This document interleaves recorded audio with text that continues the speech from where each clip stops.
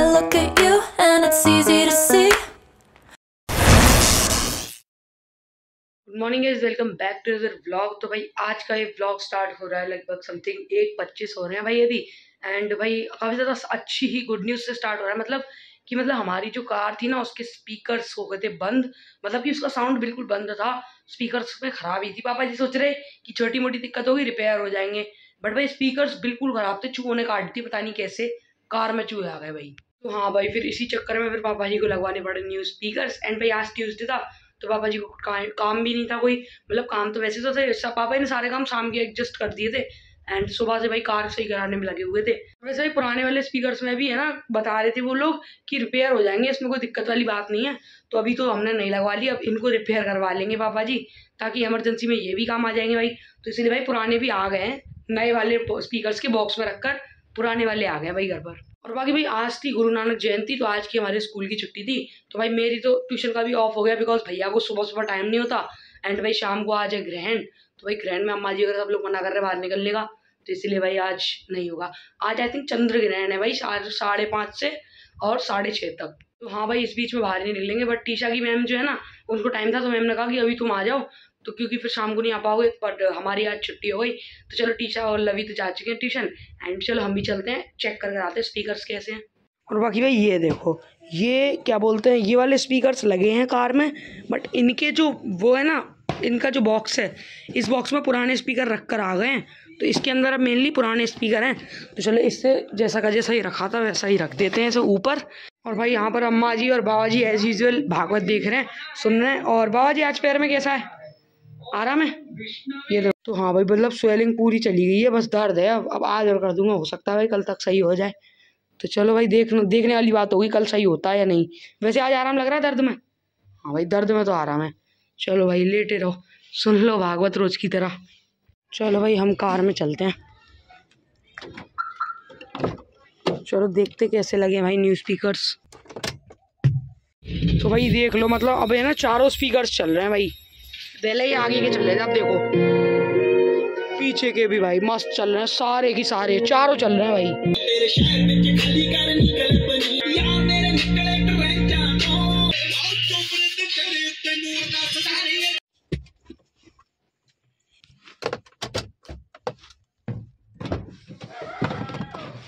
चलो भाई साहब, मज़ा आ गया, मस्त साउंड था। तो भी इस कार में से तो आ गए और बाकी भाई काफ़ी मस्त साउंड है भाई बट गर्मी भी कार में बहुत हो रही थी। मैं तो थोड़ी देर बैठा एंड चला आया भाई दस पंद्रह मिनट में। तो भाई मस्त साउंड है, आपने सुना ही, सारे स्पीकर चल रहे हैं, अलग ही वाइब आ रही है भाई कार में। और बाकी भाई, अभी सीन ऐसा है कि हमारा जो डस्टबिन है ना, वो टूट चुका है, लवी ने आज तोड़ दिया, फेंका एकदम से तो टूट गया। तो हाँ भाई, फिर अभी जा रहे हैं मैं और अम्मा जी न्यू डस्टबिन लेने। तो भाई अम्मा जी को इसलिए ले जा रहा हूँ क्योंकि भाई मुझे नॉलेज नहीं है, क्या चीज़ बढ़िया, क्या चीज़ नहीं है। तो अम्मा जी ले लेंगी भाई घर की चीज़ों में मुझे नॉलेज नहीं है इतनी। तो हाँ अम्मा जी बस तैयार हो रही है, फिर चलते हैं, चलो न्यू डस्टबिन लेने। बट अम्मा जी के साथ जाएँगे तो ब्लॉग नहीं बनाएँगे रस्ते का। तो चलो डायरेक्ट वही शॉप पर चलकर आपसे मिलते हैं। क्योंकि भाई ये छोटा सा भी कूड़ा हो रहा है ना तो फिर इसे बाहर फेंकने जाना पड़ रहा है।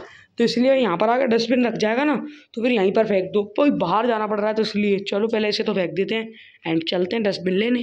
तो चलो भाई साहब चलते हैं फटाफट, लेकर आते हैं। चलो भाई दुकान पर आ गए, लेते हैं डस्टबिन मस्त। कौन सा लेना है ये देखते हैं। ये वाला सही है।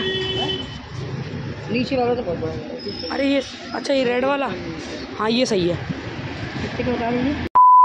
अभी इस घर तो आ गए हैं और बाकी भाई ये देखो ये लाइन डस्टबिन मिल्टन का काफ़ी ज़्यादा बढ़िया है। चलो अब थोड़ी देर रेस्ट करता हूँ भाई बाल वाल सब बेकार हो गए मुँह हाथ वगैरह धोकर आता हूँ। तो अभी ये सीन ऐसा है कि भाई साहब अभी चालू हो चुका है ग्रहण और बाकी पाँच बज गए हैं। तो फोर फोर फोर्टी या फोर फोर्टी सेवन से था ग्रैंड स्टार्ट और छः सवा छः तक था। बट तब तक हम ना कुछ खाएँगे, ना कुछ पियेंगे भाई, मुझे पता नहीं था, मुझे बहुत तेज़ भूख लग रही है अभी। तो भाई, इतनी तेज़ भूख लग रही है हद नहीं। अब मम्मी जी कहने कुछ नहीं खा सकते। तो बस भूखे रहना पड़ेगा डेढ़ घंटे। बात नहीं भाई एक डेढ़ घंटा ऐसे ही निकल जाएगा। फ़ोन चलाऊँगा, थोड़ी देर टीवी चला लूँगा, ऐसे ही निकल जाएगा भाई। तो भाई, ये देखो, ये सवा पाँच बजे का माहौल कुछ बिल्कुल अंधेरा हो चुका है। आंटी लोगों के भजन चल रहे हैं भाई बाहर। ये देखो।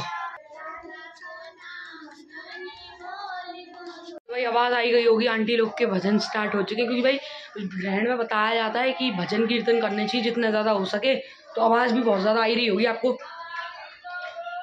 देख लो भाई, भजन चल रहे मस्त। चलो भाई, अब एक डेढ़ घंटे का टाइम पास करते हैं एंड देन फिर पास्ता बनाएँगे। भाई, बहुत तेज़ भूख लग रही है मुझे तो। और भाई, मुझे तो ये लग रहा है कि भाई, सवा पाँच बजे से ऐसा मौसम हो गया तो मतलब आठ नौ बजे की तरफ़ ऐसा लगेगा कि आधी रात हो गई। चलो, देखी जाएगी। चलो, थोड़ी देर का टाइम पास करते हैं। बस बहुत ज़्यादा इंतज़ार के बाद ग्रहण खत्म हो चुका है एंड साढ़े छः बज गए भाई पाँच दस मिनट हो गए ग्रहण खत्म हुए। एंड अभी मम्मी जी दोबारा से सिर फिर धोकर आ गई हैं और अब पूजा वूजा होगी फिर पूरे घर में गंगा जल छिड़का जाएगा अंदर से बाहर तक। एंड उसके बाद कुछ बनेगा। तो बस चलो ये सारे प्रोसेस होने देते हैं एंड फिर बनाएँगे। भाई मम्मी पास्ता छोंक दो। बनाऊँगी अभी ना। हाँ चलो मम्मी जी ने परमिशन दे दी तो मतलब पास्ता बनाएँगे। तो अब हमारे भगवान जी की होगी पूजा। क्योंकि भाई ग्रहण में बेचारे भगवान जी को बताते हैं ना कि भगवान जी के ऊपर बहुत सारा कष्ट आता है। तो बस उसी के लिए पूजा करेंगे अब दोबारा से, है ना मामा? गंगा जल निकाल लिया मम्मी जी ने। चलो भाई, अब ये वाला प्रोसेस चालू हो चुका है, गंगा जल छिड़कने का। और गंगा जल छिड़कने के बाद फिर बना सकते आह, मेरे ऊपर भी छिड़क दिया भाई। मम्मी जी ने मेरे ऊपर भी गंगा जल छिड़क दिया। चलो कोई बात नहीं, भगवान जी का ही है भाई। जल्दी छिड़क दो सारे में। तो भाई भगवान जी को भी मम्मी जी ने नहलाया नहीं बस ऐसी गंगा जल छिड़क दिया है। हैं क्योंकि भाई भगवान जी क्या? हाँ भाई बीमार हो सकते हैं भगवान जी भी। तो इसीलिए। अरे मम्मी जी कह नहीं भगवान जी के तो डॉक्टर भी नहीं देखे हमने। चलो कोई बात नहीं ऐसे ही पूजा कर लेते हैं। चलो अब बनाएँगे पास्ता। बट भाई उससे पहले मैं सोच रहा हूँ कि मैं भी नहाया आता हूँ। तो हाँ भाई सोच के आ रहा हूँ ग्रैंड हुआ है तो चलो नहाई आते हैं। तो चलो फटाफट से मैं नहा कर आता हूँ। बट शर्ट चेंज करनी पड़ेगी भाई सुबह पहनी थी कोई दिक्कत नहीं भाई। चलो फटाफट नहा कर आते हैं। I feel like I'm losing my mind. Is everybody in the world blind? Please Lord give me a sign.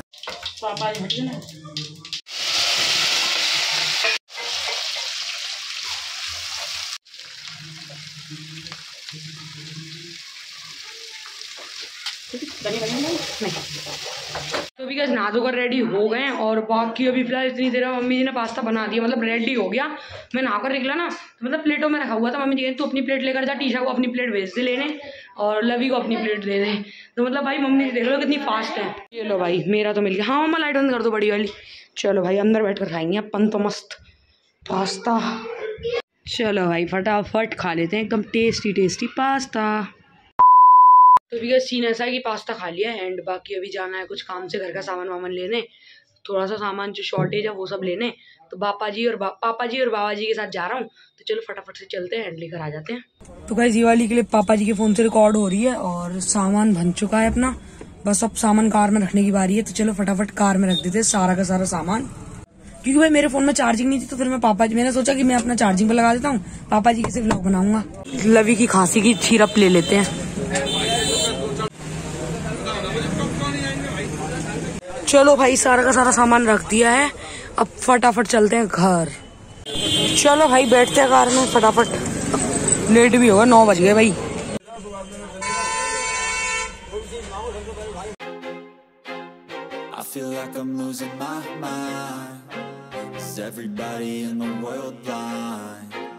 Please, Lord, give me a sign, a sign.